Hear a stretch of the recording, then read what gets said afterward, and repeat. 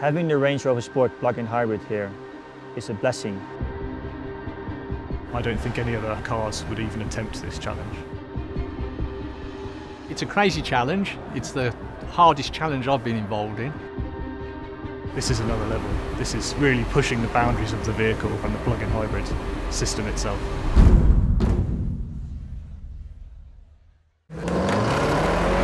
One thing that's very special about the Range Rover Sport plug-in hybrid is the powertrain. It's a blend of torque from an electric motor and torque from a traditional 2 litre petrol Ingenium engine. Because of the electric power, it gives the instant torque and especially accelerating out of these very tight hairpin turns. It's just going to give you that extra boost needed to immediately get back up to speed again. The plug-in hybrid is identified by a P400E badge on the tailgate and P400E stands for plug-in hybrid 400 horsepower electric drivetrain.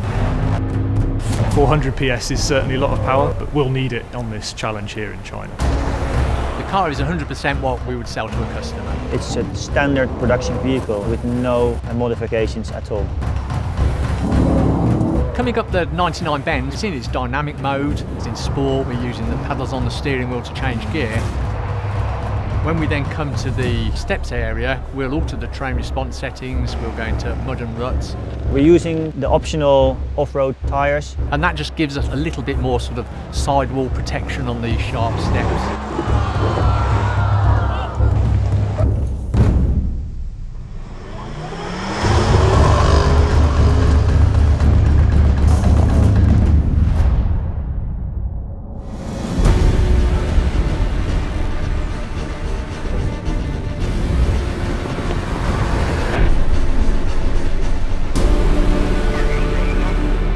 We do these challenges to push the vehicle to its absolute limits, and this one really did. The breadth of capability of the Range Rover Sport plug-in hybrid is phenomenal. Well, I mean, friends for life, I would say.